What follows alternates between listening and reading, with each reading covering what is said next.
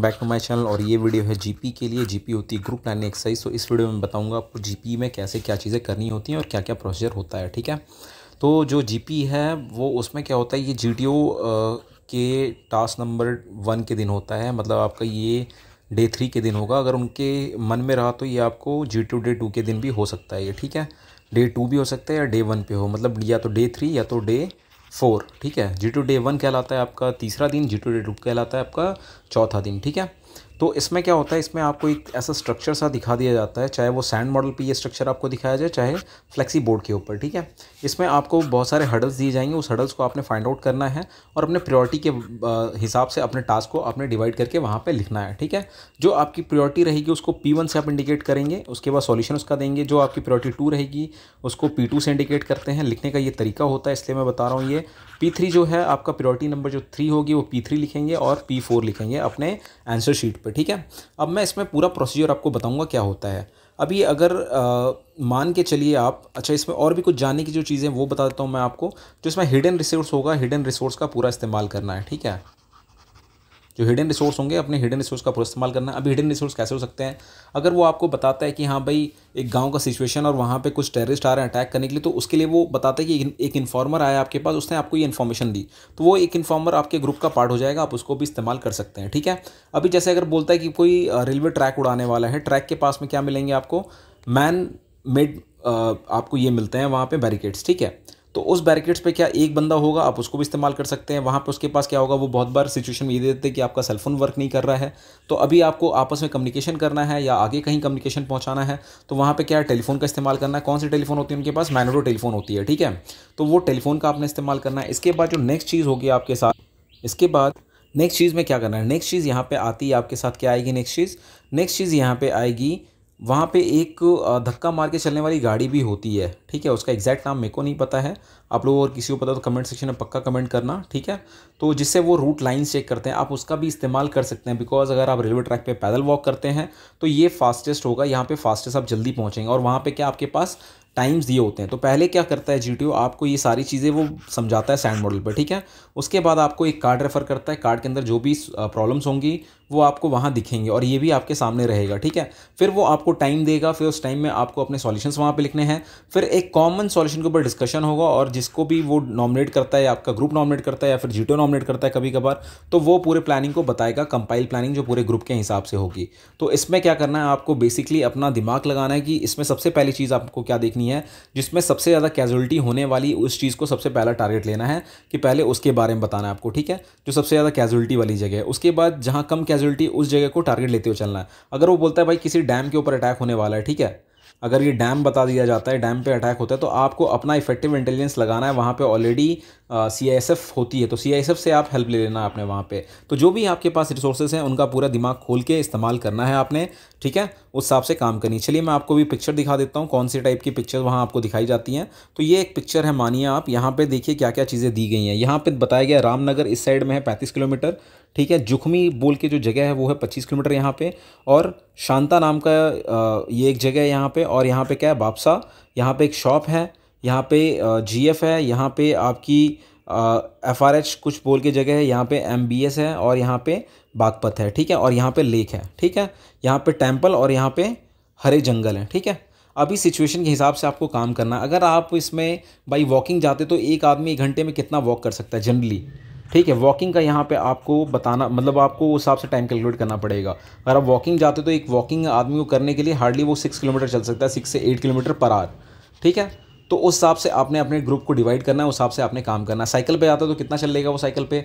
Cycle पे max to max बीस kilometre twenty kilometres per hour ठीक है? अगर वो गाड़ी जाता है फोर व्हीलर से तो कम से कम आपने भगानी नहीं है वहाँ पे जो रूल्स रेगुलेशन के हिसाब से तो कम से कम fifty kilometre per hour forty to fifty kilometre. तो इसका आपने ध्यान रखते हुए चीज़ें आपने वहाँ पे डिवाइड करनी है और काम को चलाना है, ठीक है?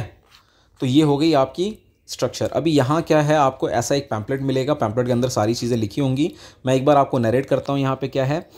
तो जो नरेशन है वो इस प्रकार से है। You are a group of student coming from Rampur going to an ancient temple at Hara Jangal in a jeep and have to return by twelve thirty P M अभी आप कहाँ से आ रहे हैं? आप रामपुर से आ रहे हैं। रामपुर इसमें कहाँ दिखाया हुआ है?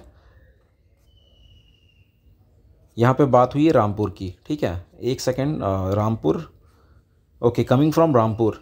तो हो सकता है इसमें थोड़ी सी गड़बड़ होगी। रामनगर को उन्होंने रामपुर कर दिया बिकॉज़ मेरे को रामपुर के नाम से कोई यहाँ पे जगह नहीं दिख रही है, ठीक है? यहाँ पे रामपुर, वो रामनगर ही होगा। तो आप रामपुर से रामनगर के साइड से आप आ रहे हैं, ठीक है?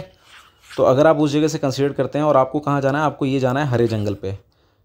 ओके आपका जो डेस्टिनेशन है वो हरा जंगल है। ये हरा जंगल आपका डेस्टिनेशन है। आपने क्या किया? आप इस रूट से आ रहे हैं और ये हरा जंगल आपका डेस्टिनेशन है। इसके बाद आपको देखिए क्या क्या हडल्स मिलने वाले हैं और आपको साढ़े बारह बजे तक जाना भी उस चीज़ का भी आपने ध्यान रखना है, ठीक है?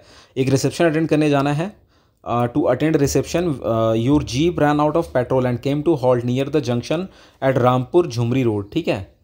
फिर क्या होता है? When you got got when you got down near the bus stop ठीक है? You are approach by the shopkeeper who was in the state of excitement he told you that a group of person stayed in the uh, motel had come in two vans to buy cigarettes he overheard them speaking that they are planning to uh, adopt the mla at 10 10 am ठीक है in a function at Shanta. अभी शांता इसमें नाम कहाँ दिखा था आपको? शांता का पता करिए, ये शांता का नाम यहाँ दिखा दिया गया कि शांता के पास भाई होने वाला और ये शॉप के पास आप खड़े हैं यहाँ, ठीक है? यहाँ से आ रहे थे इस शॉप के पास आपकी गाड़ी गाड़ी ख़राब हो जाती है। और ये जो इंडिकेशन होता है, ये होता है कच्चे रास्ते का। कच्चे रास्ते पर जो होती है, रफ्तार और भी कम हो जाती है, ठीक है?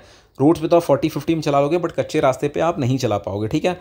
अच्छा उन्होंने एक बता दिया भाई शॉपकीपर ने बताया कि भाई वहाँ पे कुछ लोग आए थे, एक होटल या मोटल के पास है तो वो क्या करते हैं कि बताते हैं कि यहाँ पे भाई शांता गाँव की तरफ़ में उन्होंने ग्राम प्रधान को लेना है रेंज में ठीक है? ओके तो अब इसके बाद दस बजे होने वाला है ये काम, ठीक है? He also said that said that they give the impression of being dacoits ठीक है? अब बता दिए कि भाई वो डेकॉइड्स जैसे दिख रहे थे वहाँ पर ठीक है?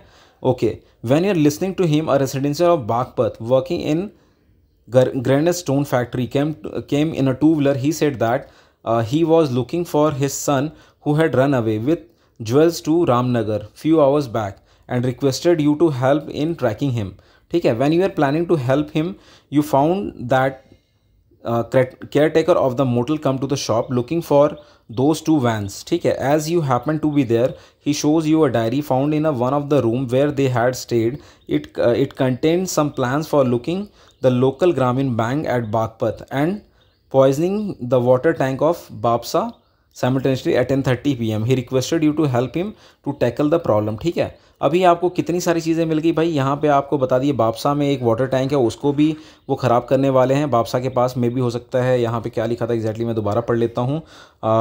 In the room very found it content some planning of the local Gramin bank at Baghpat and poisoning the water tank at Bapsa simultaneously ten thirty P तो वो बापसा पे करने भी वाले थे यहाँ पे। ये हो सकता है may be local Gramin bank हो मे बी वो लेक को पॉइजनिंग करने वाले हैं, ठीक है? तो अभी आपके पास प्रियोरिटी वन क्या होगी, उस चीज़ को आपने डिसाइड करना है। तो आप एक दो बार पैम्पलेट को पढ़ेंगे, अपनी जो प्रियोरिटीज़ हैं, उनको डिसाइड करेंगे, जिसमें जान माल का ज़्यादा हानि है, पहले उसको आपने सेव करना है, ठीक है? और अपने ग्रुप को साइमल्टेनियसली आपने ब्रेक करना है। अभी आपके पास कितने मैन पावर हो गए? आपके पास ये जो शॉपकीपर था, वो हो गया, और वो दो लोग आए थे, वो हो गए। साथ में जो व्हीकल आया थी, वो भी आपके साथ मैन पावर बन चुकी है, ठीक है? आपने इनका सारों का हेल्प लेना है बिकॉज़ वो लोगों ने उनको देखा है। ठीक है? और तीसरा आदमी क्या रहा आपके पास? तीसरा आदमी जो मोटल का ओनर था या मैनेजर वो आया आपके पास, ठीक है? तो वो भी आपके पास एक मैन पावर हो गया और वो भी किसी न किसी इंस्ट्रूमेंट से आया होगा तो वो आप कुछ भी इस्तेमाल कर सकते हैं वहाँ पे, ठीक है?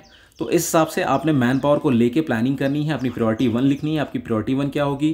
प्रियोरिटी टू क्या होगी? प्रियोरिटी थ्री क्या होगी? फिर solution one solution two solution three ऐसे करके आपने अपनी प्रियोरिटीज़ को बताना है। और इसमें थोड़ा सा क्लियर रहना ज़्यादा ज़रूरी है बिकॉज़ इसमें क्या होती है कि आपकी इफ़ेक्टिव इंटेलिजेंस देखी जाती है कि आपकी इफ़ेक्टिव इंटेलिजेंस क्या है ठीक है? सो so, अगर यही है पूरी जीपी की कहानी।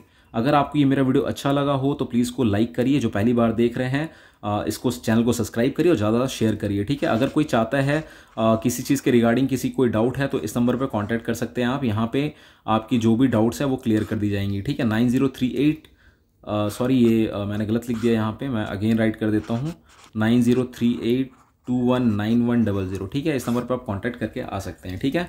So if you like my video please like subscribe my channel and thanks for watching my video जय हिंद